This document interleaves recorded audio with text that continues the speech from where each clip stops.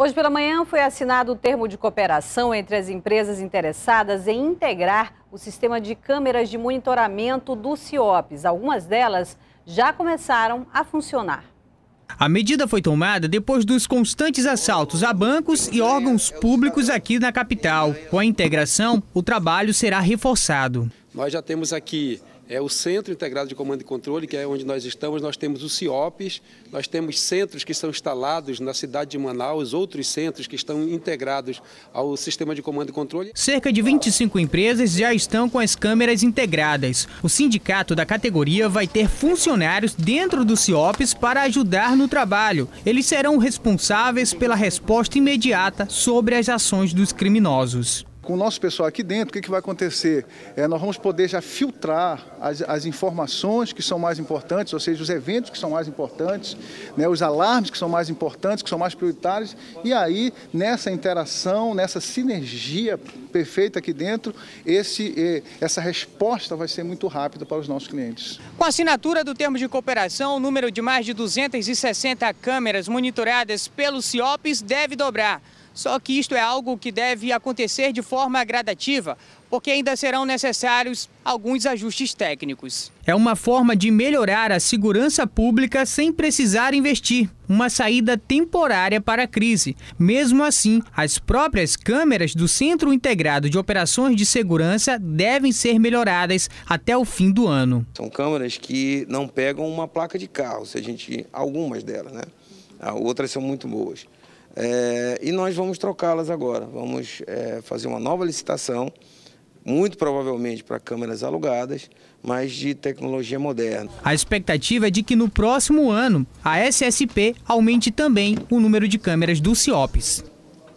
Depois de um mês, voltou a chover em Manaus em um dia que começou mais uma vez com muita fumaça, mas a previsão ainda é de calor para os próximos dias. Bastaram alguns minutos para a fumaça dar lugar a um céu encoberto por nuvens de chuva. Surpresa para quem já estava incomodado com o calorão. Minha vontade foi sair na chuva, com essa quintura toda. Aqui ou chove muito ou faz muito calor, normal. Choveu em vários bairros de Manaus, entre as sete e meia e as nove da manhã. Foram cerca de 7 milímetros e meio. Pouco, né? Mas o suficiente para causar um certo alívio temporário. Qualquer uma chuva que vem agora nesse tempo é bem-vinda. Há um mês não chovia na capital. Em setembro, choveu 15 milímetros apenas e o esperado eram 43. As altas temperaturas somadas à nuvem de fumaça que se repete há seis dias deixaram a cidade mais seca. A previsão não é nada animadora. As chuvas devem continuar abaixo do normal. Existe uma pequena possibilidade de chuva aí em áreas isoladas é, nos próximos dias, mas nada muito intenso aí que possa amenizar, vamos dizer assim, o calor. Hoje, o pouco que choveu já causou estragos. Essa árvore caiu no centro de Manaus e atingiu esse carro que estava estacionado. Além dessa área do centro, outros 16 bairros ficaram sem energia elétrica devido a problemas na rede de fornecimento causados pela chuva.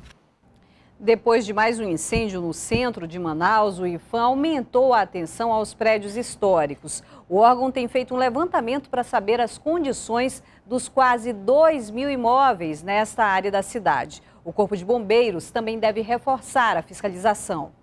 Geraldo é dono de um imóvel antigo no centro da cidade. Preocupado depois do incêndio que destruiu quatro prédios na semana passada, ele adotou algumas medidas de segurança. Aqui nós desligamos todos os disjuntores, né? fazemos o possível para que fique tudo em ordem. A gente tem extintores aqui. São quase 2 mil prédios históricos aqui em Manaus, a maioria no centro e tombada pelo Instituto do Patrimônio Histórico e Artístico Nacional. Nós fiscalizamos é, o centro como um todo, né, o centro tombado, mas especificamente essa questão de é, instalações elétricas, as condições do imóvel, a gente não tem nessa gerência. Né? Para prédios mais antigos, existe uma legislação específica que ela apresenta é, são, são dispositivos para que possam, possam ser adaptados, são adaptações necessárias para que esses, esses prédios eles, eles venham a, a ter uma segurança mínima para poder continuar funcionando. As altas temperaturas e os mais de 300 incêndios registrados este ano pelo Corpo de Bombeiros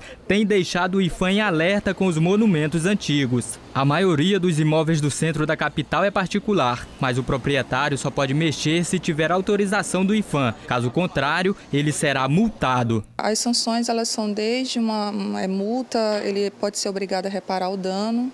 É, são os artigos 17 e 18, que é demolir, é, mutilar a coisa tombada, ele pode estar incorrendo em crime contra o patrimônio.